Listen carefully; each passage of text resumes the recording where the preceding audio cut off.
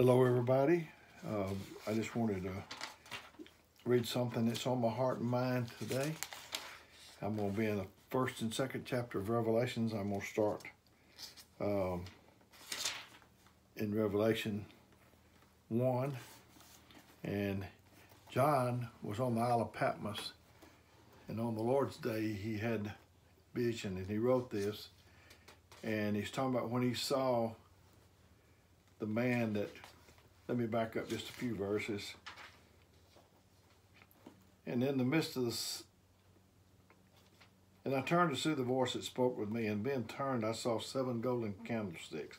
And in the midst of the seven candlesticks, one like the Son of Man, clothed with a white garment down to the foot, and girded about the paps with a golden girdle. And his head and his hair was white like wool, as white as snow, and his eyes were a flame of fire and his feet was like unto fine brass, as if it had been they burned in a furnace, and his voice is the sound of many waters. He had in his right hand seven stars, and out of his mouth went a sharp two-edged sword, and his countenance was as the sun shineth in his strength. And when I saw him, I fell at his feet as dead. And he said, and he laid his right hand upon me, and saying unto me, Fear not, I am the first and the last. I am he that liveth and was dead, and behold, I am alive forevermore. Amen. And have the gates of hell and of death, and have the keys of hell and of death. Write the things which thou hast seen, and the things which are, and the things which shall be hereafter.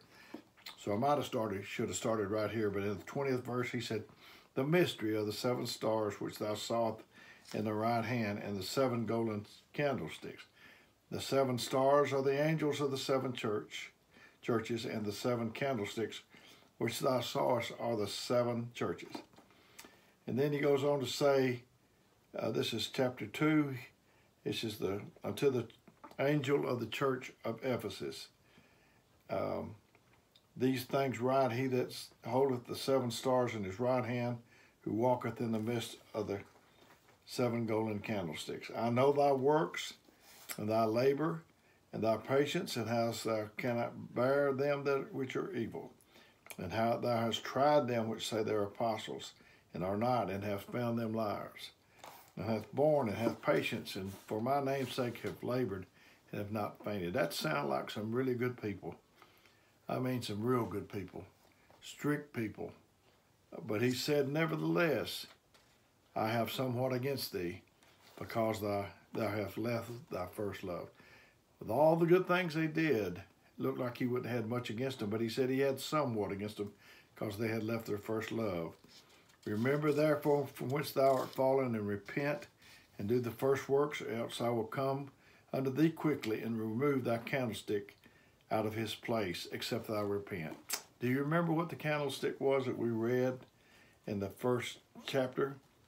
He said, And the seven candlesticks which thou sawest are the seven churches. If we let love go out of our church, then um, uh,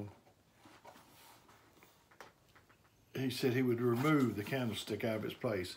We don't want to do that. We don't want to be uh, where love goes out of our churches. Uh, I believe if that happens, the the the doors will just rot down. Won't be anybody coming, and uh, so we must keep love in the church.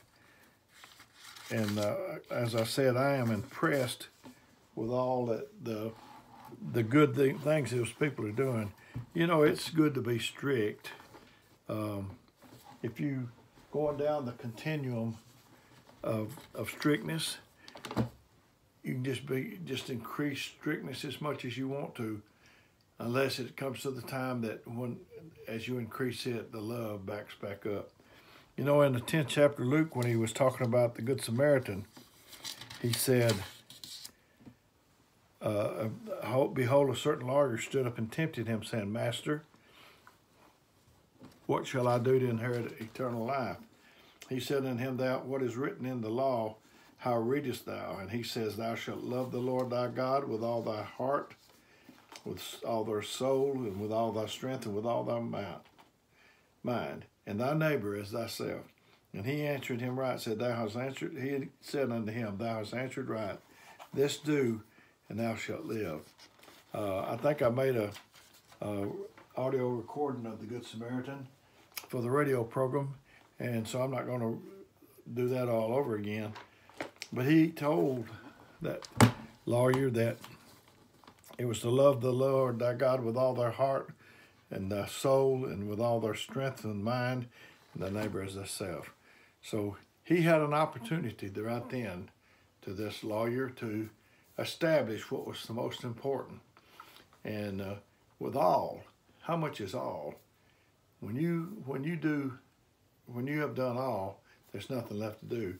If you had a washcloth and it's full of water and you started wringing water out of it, as long as you could get a drop out, then you haven't squeezed all of it out. So it's every bit of it. And he talks about here that he, those people had done all those things, and still he had somewhat against them because they had left their first love. You remember your first love.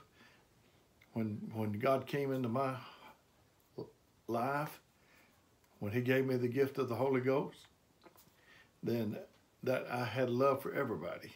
It's the kind of love that'll pray for your enemies uh, and those that despitefully use you, and, and love those people. Um, it's it's a it's a a love that a man can't do on his own. Uh, he said in his word, God is love. I know that in school they taught me that two plus two is four. God is love. Two plus two is four. Two plus two equals four. God equals love. God is love. If I want to be more like God, then I need to be more, have more love, because that's what God is. Um, if I want to be more like God, I need to be more forgiving. So there's a way we can get closer to Him.